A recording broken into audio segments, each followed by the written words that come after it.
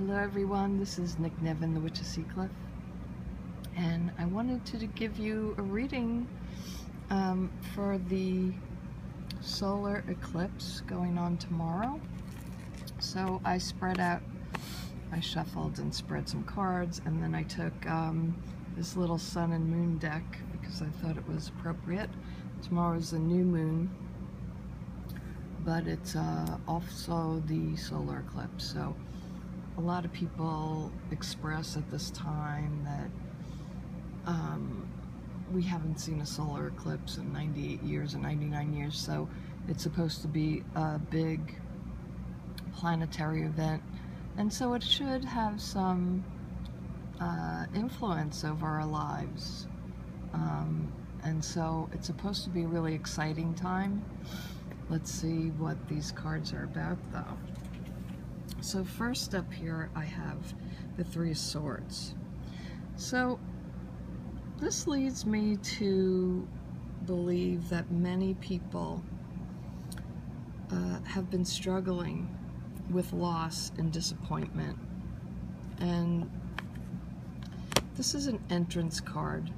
So it's the place where we're at now. A lot of people are feeling unfulfilled. They feel disappointed and maybe what's been happening to them. Maybe maybe it could be love because there's a love card up here.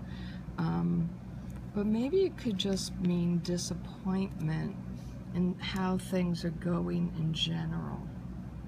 But we'll get back to that with the more cards I have here to pull out. But there's a sense of overwhelm, disappointment. Now the base cards we have here, the three here are the Seven of Swords, the Hermit, and the Four of Wands. So this is our base situation. This is our more higher spirituality, what perhaps we're looking for or moving towards. But this is where things are at now. Disappointment. This is a little troubling here. The Seven of Swords is, um, this could be you or it could be your environment or people surrounding you. Um, it's a, a, a card of trying to get away with things. Maybe people surrounding you are disappointing you and they're trying to get away with things.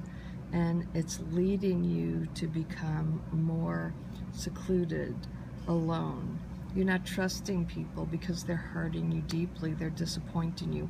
They say one thing and do another. But this could also be yourself, hurting yourself by your own actions. I mean, this person is taking the sword, sword into their mouth. So this could be that they, you know, you as a person maybe self-sabotage maybe you're always getting hurt because somehow you have a negative belief system that causes you to self-sabotage and so then you're feeling alone. And now I feel the general mood here. I mean, most people want companionship. Most people want a nice home. They want to feel comfortable. They want wealth, security. This is a card about security and this real need of most people right now to feel more content. Uh, not, you know, I get this feeling that everybody feels like I'm working so hard, I'm struggling so hard, but all I ever wind up is alone, disappointed, and feeling the own poison. Um, maybe perhaps from my own belief system.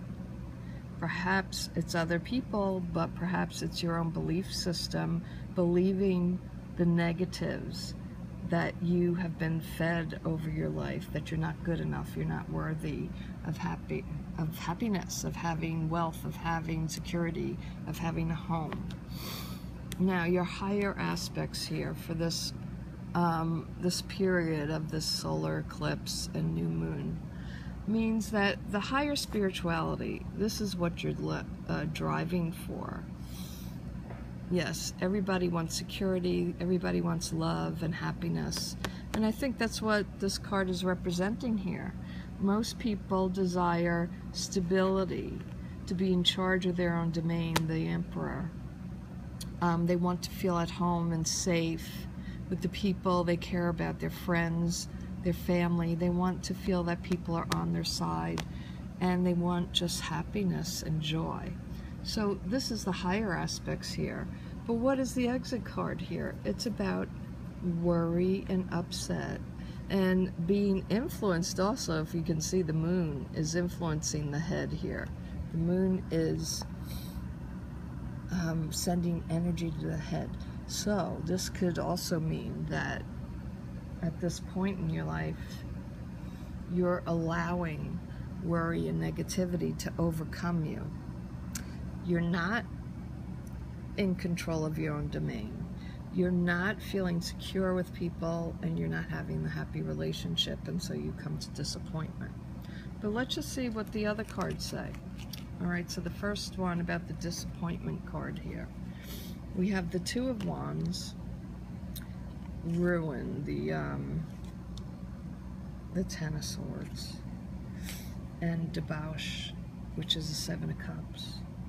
Okay, so maybe, maybe this is talking about your mind. Seven of Cups is about having a lot of options. But maybe there's too much options that you get overwhelmed. In wanting it all, um, in trying to do all, you render yourself useless because it's too overwhelming. You want too much, you do too much, then you get overwhelmed, and what happens? The Ten of Swords. You come to a place of severe burden, severe disappointment and upset. So here we have the Two of Wands, Dominion. This is about a need to be in control of your own self, of your own domain. Guard your mind. Guard your mind from these negative and self-fulfilling prophecies from the negativity you even feed yourself. So this new moon is bringing in energy, I feel, that can help you to see what you're doing regarding love is you are creating negatives so that you're not attaining this love because you are self-sabotaging. We'll take out the three more cards here though. So this is truce. Needing a break from the constant worry and anxiety and the self-sabotage. Power. Four pentacles. You need some stability in your life right now. And the nine of pentacles, gain. So in order to gain, you have to get balance. You have to get balance over the mind. I think that's really definite in these cards right now. Take control, take charge of your mind. Now over the Hermit here, I have um, the Star, but it was reversed. Which the Star is a great card, upright or reversed. It just means reversed that it's going to take some time to feel your power again. You need to take time. It's going to be a little bit slow coming, but it's coming um, we have the Princess of Swords. So you are very dynamic. You have the strength to keep going, even though perhaps you don't want to keep going anymore. And we have the King of Cups. So the way, in order to bring strength back, to bring independence back, to bring the star back, your star qualities, to bring love in your life, is to do it with love because we have the King of Cups, which is the king. His dominion, his dominion is over love and emotions. So I feel it's a lot about gaining your strength over your emotions at this time so you don't feel lost and alone anymore. Don't, even if you are alone, don't go there. Feel your strength in being independent. If you're alone, feel your independence and how good it is to be alone and strong and taking care of yourself. and do things now for yourself with love and you will find gain you will find happiness you will you know weed your own mind with the good fertilizer of love and kindness to yourself right now. And the three other cards here for this card of security and home and good communication between people. Okay so there's interference. There's something going on. There's interference here with the Eight of Swords. So, um, and we have change going on.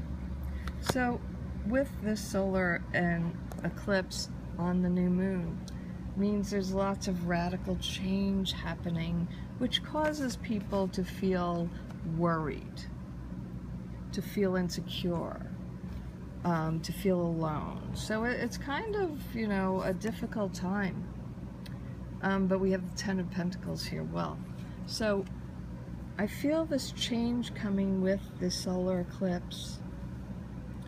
Um, perhaps this eclipse is gonna going to interfere and pour energy to create the change so that you can um, have this stable home, so that you can have increase in your life. Very, very interesting reading. And up here on the love card, we have the Queen of Pentacles. We have um, the Four of Cups. And we have the Ace of Cups. So I feel, you know, your desires, you can have what you want. If you're not married, you can have marriage. If you're not in a love relationship, you can have love. Um, if it's wealth you want, that's what you can have with luxury. But the Queen of Pentacles is here to say, we are in an earth sign, so you have to take things slow. You have to gain balance in your life. You can't just go around um, thinking that um, if you keep going about um, playing the old negative tapes in your mind, that you're going to have happiness. No, you're just going to create more of the same. You're going to create, um, you know, this is you. You're eating your own swords. Your, your sword, you're eating your own words. You are self-sabotaging. So in order to get this place, the place of love, the place of luxury, you have to stop this. And then over the um, Six of Cups, Six of Cups is also about home and family and past childhood memories, things of that nature. So I have three cards here for that. And we have um, the Ten of Cups reversed, okay? So it's attainable.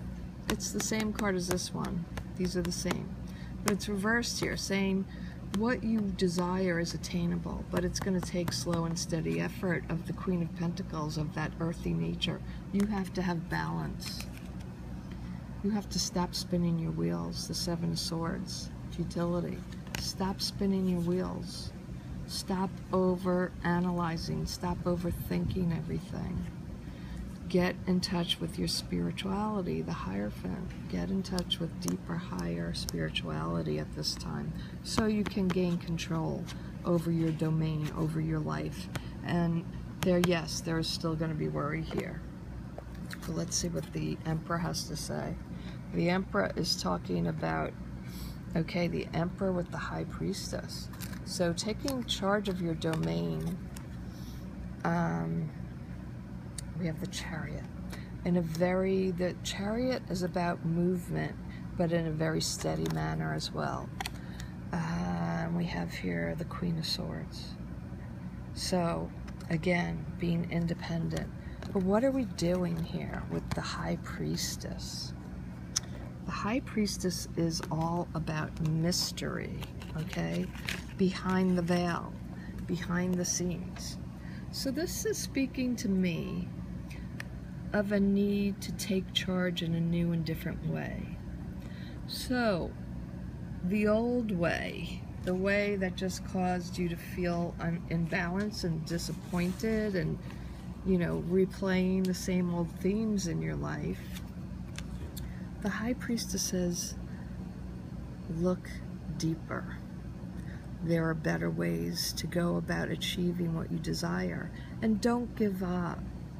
Just because something didn't work doesn't mean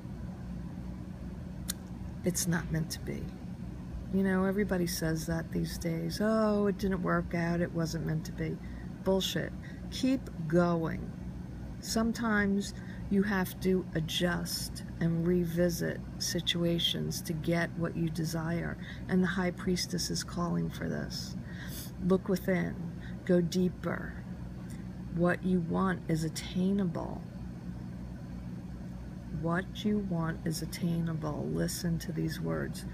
Stop spinning your wheels. Adjust. Make small adjustments and achieve balance. Now, it could also take the form of magical work, you know, doing spells. I, you know, I do that kind of thing.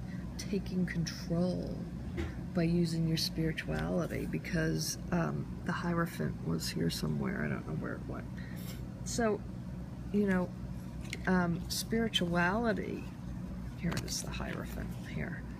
Spirituality, using spiritual methods to attain.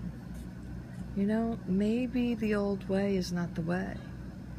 Maybe you need to find, look deeper, get spiritual, find a new method to get dominion over your life.